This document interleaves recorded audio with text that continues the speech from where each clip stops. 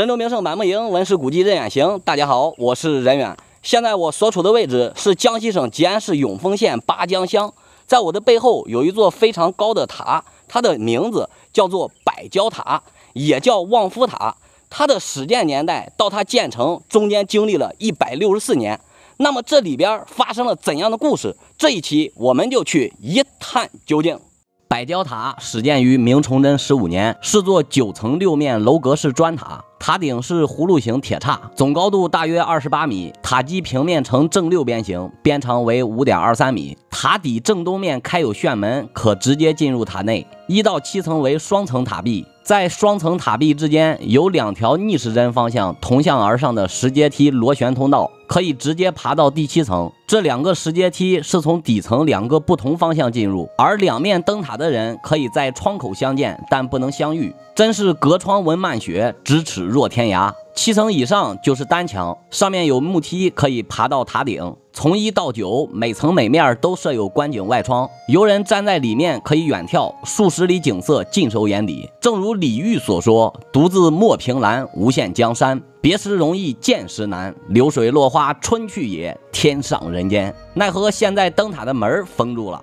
据说塔内有一楹联二水河流入大海，一峰独立锁恩江。”这也道出来了塔的具体位置。塔的旁边，腾巴河与恩江在此交汇，一清一浊，合二为一，流入乌江，再奔赣江。八江也是因为两江交汇，呈现一个水写的八字而得名，并且这里流传着一首无名氏的打油诗，讲出了这里的精彩之处：一座宝塔，两道悬梯，三面临水，四季美景，五光十色，六面玲珑，七分精巧，八面来风，九层相叠，十分雄伟，百年守望，千年传颂，万分凄美。最初这塔外面没有刷白，因为历经百年的沧桑洗涤，这座塔也失去了往日的光彩。后来这里进行过一次系统性的修缮，据说花了四百五十万。从价格来看，修缮的地方肯定不少。根据《先志》记载，这里的修塔人叫做程云山，因为战火兵险连绵不断，当时只造了两层就停工了。时隔一百六十四年，才由当时的知县李金台倡议修建，全县绅士响应，这座塔才最终建成。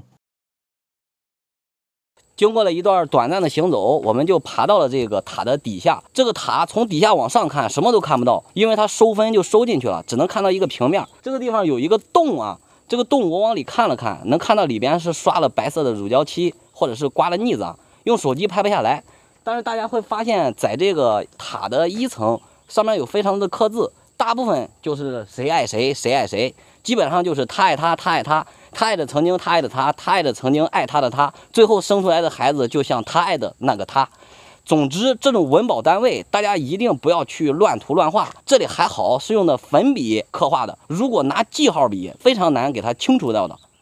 这座塔之所以叫做望夫塔，和这里流传的故事分不开。相传原来有一书生新婚第二天就进京赶考，新娘一直把新郎送到这附近的小岛上，想想夫妻一别，不知何日才能再见。新娘含泪说：“愿夫君金榜题名，我会日日在此守候。”等待夫君衣锦还乡，新郎紧紧拥抱着新娘，难舍难分，在船夫的催促下才挥泪相别。新郎许诺，他日若博取了功名，一定不忘结发爱妻。从此，妻子每年到此等候，只见江水流淌依旧，却不见夫君传来。一晃几年过去，书生仍杳无音信。妻子盼夫心切，为了登高望远，决心在此修一座宝塔。随着宝塔层层增高，夫君却年年不归。反观新郎进京赶考，果然金榜题名，考中进士。古代有榜下捉婿的传统，穷小子一旦考中进士，就会有达官贵人把女儿嫁给他。这位男主角也不例外，在考中进士之后，被富贵人家的千金看中，而他也忘了家乡的新婚妻子，娶了达官贵人的千金小姐。